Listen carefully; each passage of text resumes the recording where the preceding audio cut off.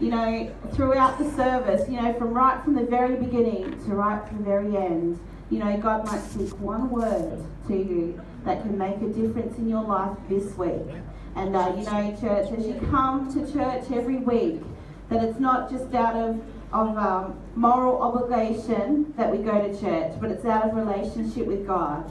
And, uh, you know, can I challenge you that every time you come into this place, that you get one word from God. You know, I've challenged myself over the last, you know, two years that I come into this place and every week I go home with one word. And that word, I, I meditate on it and I just and and I just just keep going over and over and over it because that's the renewing of the mind. Amen. Amen. Amen. So uh, we're just going to pray right now. Father, in the name of Jesus, we just thank you that you are so wonderful. You're so merciful and loving and gracious to us. Lord God, we just thank you that we can come into your presence this morning.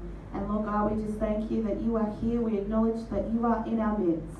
And Lord God, we have a reverence and a and a, um, a reverential fear because we're so in awe of you this morning. And Father, we just thank you for the work that you did on the cross, that we never ever forget it.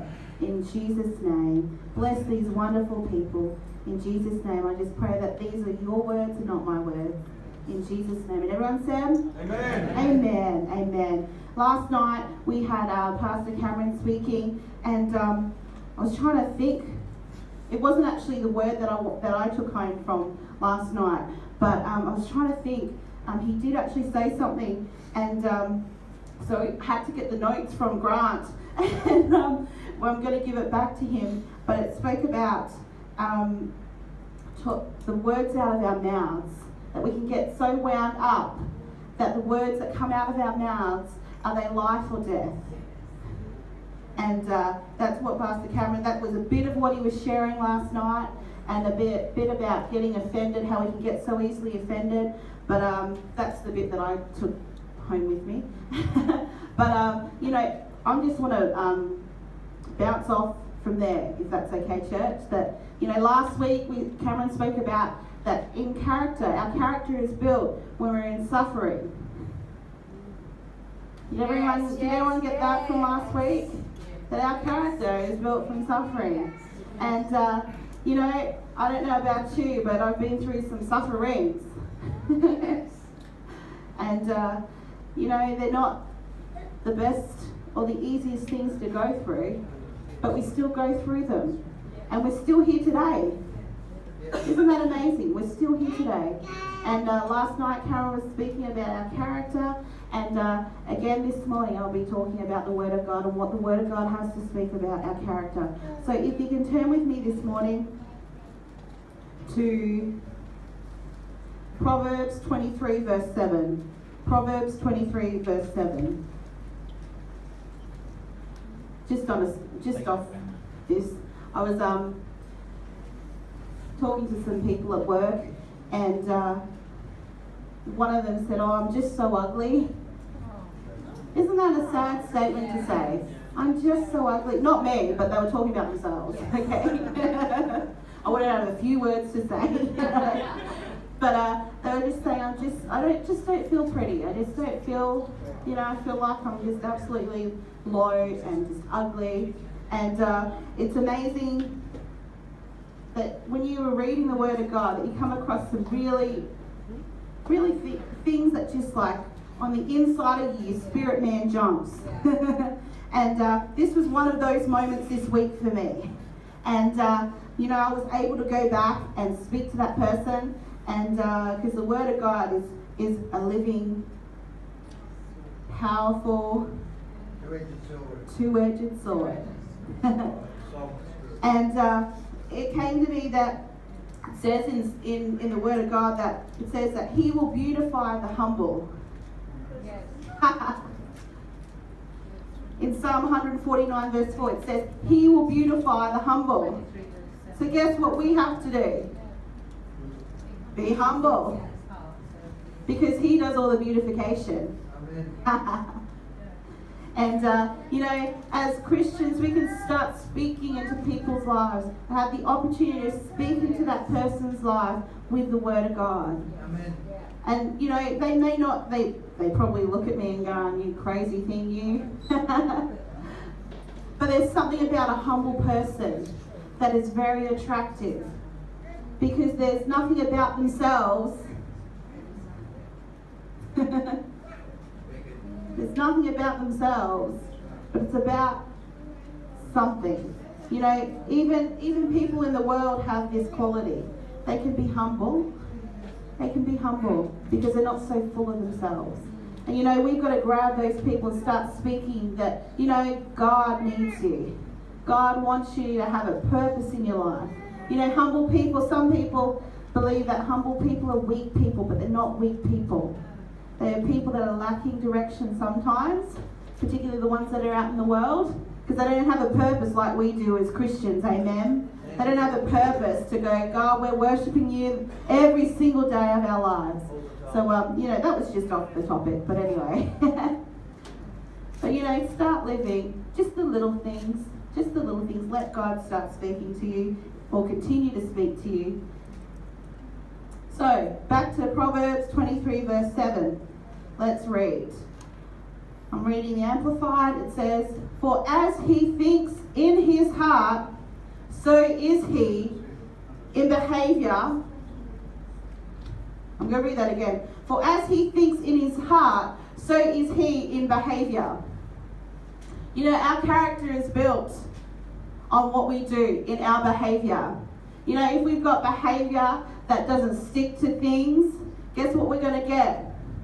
We're going to get really, really shaky ground, unstable ground. If we're not a people that, that will go, you know what, I'm so stubborn that when I hear from God, I'm going to hold on to His word. You know, you can be stubborn in that way, and that's okay. I like that stubborn. I like that stubbornness. That you go, God, I'm holding on to your word because I heard from you. Yeah. I'm going to hold on with everything I've got, have the faith to see it through. And you know, it says, For as he thinks in his heart, so is he. You know, that lady that I was talking about this week, that she thought in her heart that she was not pretty, that she was low, that she wasn't worth anything. But you know, when we start thinking the Word of God, you know, I was talking about renewing your mind. And renewing your mind is about meditating on the Word of God day and night. You know, throughout the day, you may be going about your business, you may be shopping, and you know, you just stop in the supermarket and you start going, God, you're so wonderful. God, your scripture says, I am fearfully and wonderfully made. Great is thy faithfulness. You know, start picking up those scriptures that build you up on the inside. That it's not about what I have to say about myself. It's not what Pastor Cameron has to say about me. It's not about Pastor Ian, what he has to say about me. But it's about God and what the Word of God says. So it says in the Word of God, For as he thinks in his heart, so is his behavior. What things are we behaving like? Are we behaving in a loving manner? Do we have love in our actions? Do we have the joy about our lives? Do we have peace in the decisions that are made in our lives? If not, go back to the Word of God, seek God, Pray about it. it's not an easy thing, this character. Because I can tell you ways of doing things that works for me, but it doesn't work for Pastor Cameron, and vice versa. Continuing on, it says, He says to you, Eat and drink, yet his heart is not with you. You know, I was pondering on that second bit. He says, eat and drink, yet his heart is not with you. Have you ever been to someone invites you over and at the end of the night you go away and you go, something just, there was a hidden agenda you felt? because it wasn't out of love, that they wanted to talk to you or out of relationship. we had that quite recently, didn't we, Cameron? Where we went to lunch with somebody and uh, you know you came away and just there was just something on the inside of you that you know you just go that wasn't right, God. What they said wasn't right. It didn't come out of the spirit of love. It didn't line up with your word. you know, it says, let peace be your umpire. The opposite of peace is there's something unsettled, something that just really gets under your skin and starts to stir up on the inside.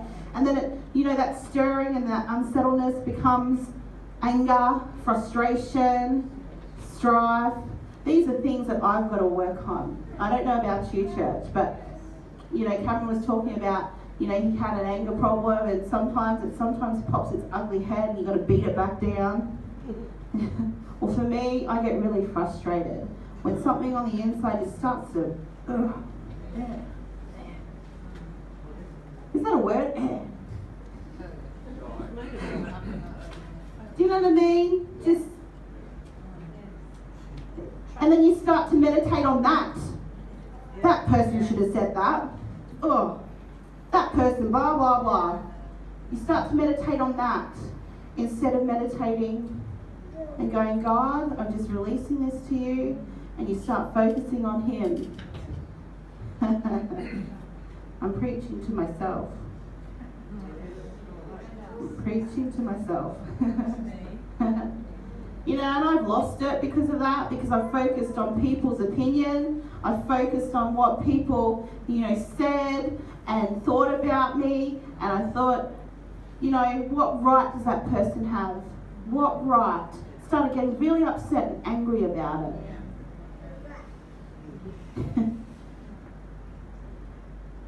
you know, God didn't want me to do that. Focus on that. It says that He is our first love. He is a jealous God. He doesn't want us to focus on that rubbish. he is a jealous God. He wants us to His own. You know, if I sat with Cameron and I started going, that person, Cameron, blah, blah, blah, blah, blah, and I kept going on and on about it, you know, I've had sessions that would last days. I've had sessions that I would carry this burden around with me for days, if not weeks. And I go, Cameron, blah, blah, blah, blah, blah. You know what? Cameron started to switch off. That's from experience. I reckon God was start going, you know what? I've, I've heard that a million times. I'm switching off to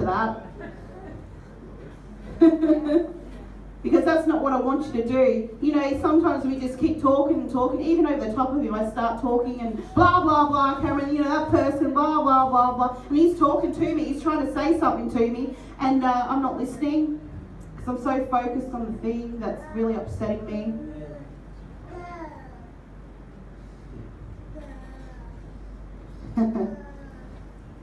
For as he thinks in his heart, so is he. Don't let those things get inside your heart. Further on, it says, in the mess, I love what the Message Bible says.